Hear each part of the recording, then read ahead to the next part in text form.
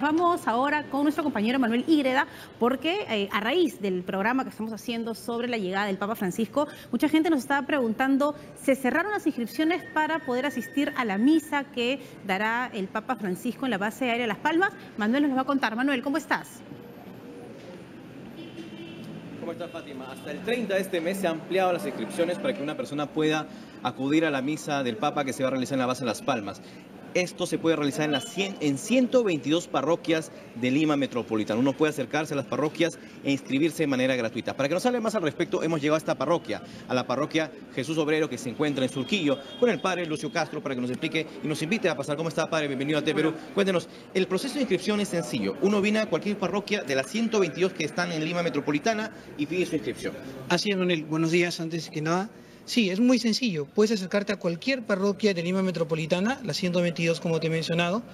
Basta con que lleves tu DNI, te ingresas al despacho parroquial y te presentas pidiéndole que deseas participar de esta misa multitudinaria el 21 de enero. Vamos a graficar un poco lo que dice el padre, porque justamente aquí en su despacho ya hay personas que se están inscribiendo aquí en este lugar uno viene con su DNI, como usted decía, padre, y aquí en recepción, por ejemplo, ya hay una, una ficha que se tiene que llenar. Sí, eh, en el despacho parroquial las secretarias van a, tienen ya a disposición una ficha que la misma comisión de preparación para el visita del Papa nos han mandado a las parroquias, donde se les informa de manera simple, un poco sencilla, cómo es el proceso para la inscripción. Vamos a detallar un poco lo que dice la ficha para que las personas que vengan acá sepan qué es lo que, cuáles son los datos que tienen que llenar, por favor, si lo puede informar.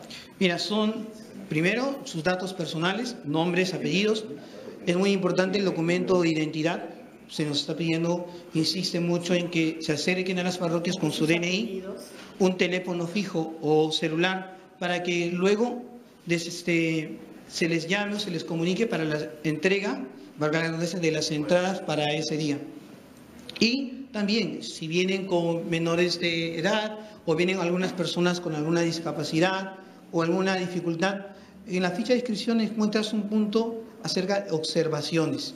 La idea es también para poder, si encontramos esas dificultades, ver cómo se les puede ayudar, cómo se va a organizar a la hora de la misa. Por ejemplo, si es una persona con minusvalía, si es una persona que no tiene facilidades para trasladarse. Así es, así es. Es sobre todo darle las facilidades y que la misa del 21 sea una experiencia agradable para todos, para todos los que vamos a participar ese día. Queremos mostrar nuestros de la ficha porque también acá hay un dato interesante también, que aquí en la parte inferior, Iván, dice conserve este ticket. ¿Por qué, padre?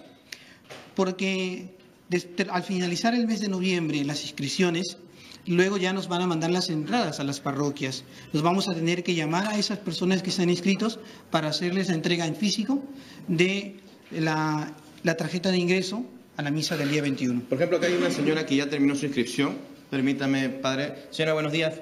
Su nombre, señora, muy buenos días. Isabel. Isabel. Sí, Isabel. ¿Nos puede, ¿Ha sido difícil el trámite? Usted, por ejemplo, acá, Ya, acá ya le han, acá incluso le han dicho conserve su ticket. Sí. ¿Ya? Sí. ¿Y le han explicado qué es lo que va a acontecer ahora que después que se ha inscrito? Sí. Ya de aquí tenemos que esperar la llamada telefónica para poder eh, venir, ¿no? Para que ya pues nos dirán en qué momento, cómo va a ser, cómo nos vamos a movilizar, si vamos a ir en grupo. Ya depende de lo que se nos diga. Hay unas observaciones también que la Sí, por supuesto que tenemos que leerlas y para poderlas... Este, Permítame, por favor. Hay unas observaciones que queremos dar que, bueno, la inscripción será con letra imprenta, aquí lo voy a mostrar, y números bien hechos, o sea, tiene que ser letra legible, ¿no? Es obligatorio la presentación del DNI de la persona y una Ah, y acá hay un dato interesante. Una persona puede inscribir a varias, siempre y cuando presente físicamente el DNI. Padre, eso es cierto. O sea, yo, por ejemplo, puedo venir, es, es como una entrada al cine. ¿Yo puedo comprar varias entradas para, para, diferentes personas? No, sobre todo darle las facilidades. A veces recuerda que los horarios hoy de muchas personas son un poco complicados por motivos de trabajo y todo. Entonces, la idea es que si, por ejemplo, tú vienes a escribirte o algún compañero tuyo de trabajo también y él por algún motivo no puede, pues basta con que te dé su DNI en físico y les escribes a las dos personas. Por ejemplo, acá también en las observaciones, persona discapacitada, lo que usted mencionaba en las observaciones. Sí, sobre todo para que a la hora que se organiza toda la preparación se tenga en cuenta la forma de darle las facilidades a todas estas personas que tal vez también tienen el deseo y quieren participar de la misa del 21 de enero.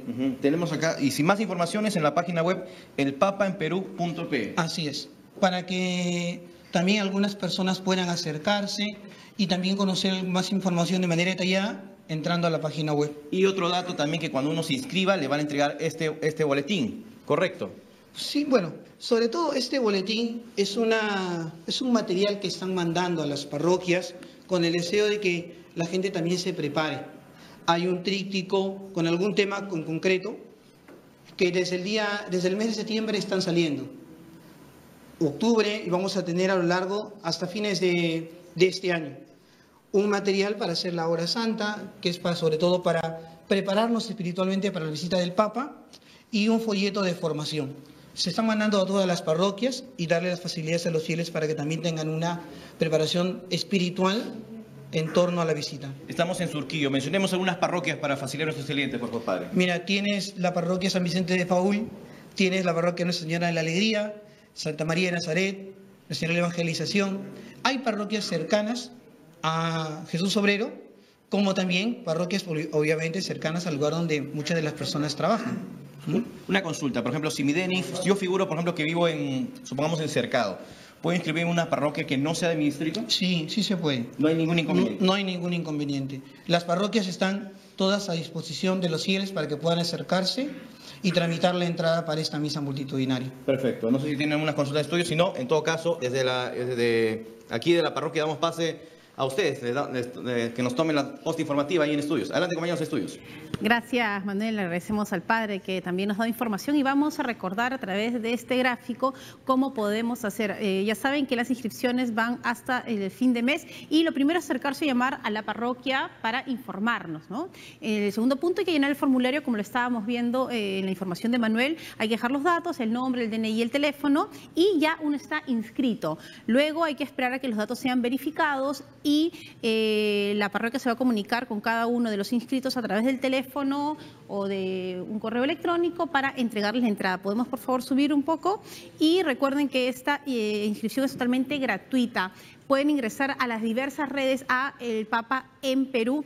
Y también, no sé si podemos subir un poco, Diego, si me ayudas, porque eh, también nos estaban preguntando qué hacer en el caso de los extranjeros. Y vamos a ver, Diego, si podemos subir un poquito la imagen. Ustedes también pueden eh, acceder a través de las redes llenando los formularios, los extranjeros que están llegando.